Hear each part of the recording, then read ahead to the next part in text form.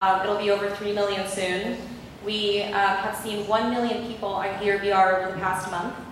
80% uh, of people who use Gear VR every day watch video rather than games. I think a lot of people are talking about VR as being used for gaming, but there's um, a hunger for the non-gaming. And there's over 250 apps already on Gear VR in the Oculus store.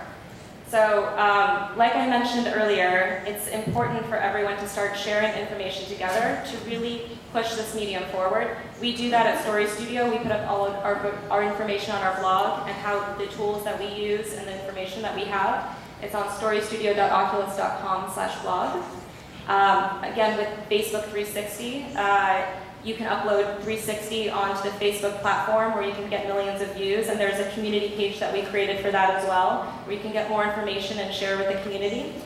Um, we created this camera called the Surround 360. It's a stereoscopic camera, and there's a million cameras now being created for VR. This is the lower end, which is monoscopic. Um, I'm sure some of you have seen this. Getting into the higher end, which is stereoscopic and then ultimately light field cameras that can capture things volumetrically.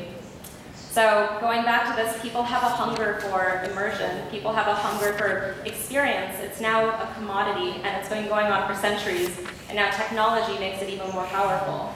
So my hope is that we all work at this together and um, elevate the creativity and the storytelling community we have here um, to push this into the direction that we all want to see.